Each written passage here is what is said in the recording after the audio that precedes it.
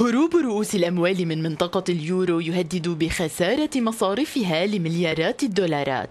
المستثمرون المتخوفون من انهيار المنطقة سحبوا كميات كبيرة من أموالهم من المصارف الأوروبية.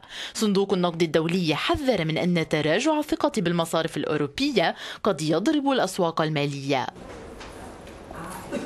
الصندوق توقع أن تبلغ خسارة المصارف الأوروبية للأصول تريليونين ومئتي مليار يورو لكنه توقع أن تبلغ الخسارة في أسوأ الظروف ثلاثة تريليونات وخمسمائة مليار يورو. ينبغي توخي الحذر واتخاذ الإجراءات الضرورية لتجنب الخضوع لخضات مالية قد تؤدي إلى مشاكل. هذا ما قاله مدير أسواق رؤوس المال في صندوق النقد الدولي خوسيه بنياليس الصندوق اعتبر أن هروب رؤوس الأموال يعود إلى اختلاف زعماء منطقة اليورو حول طرق حل أزمة الديون في المنطقة. لكنه ألقى اللوم كذلك على واشنطن وطوكيو لفشلهما في اتخاذ قرارات مالية حاسمة.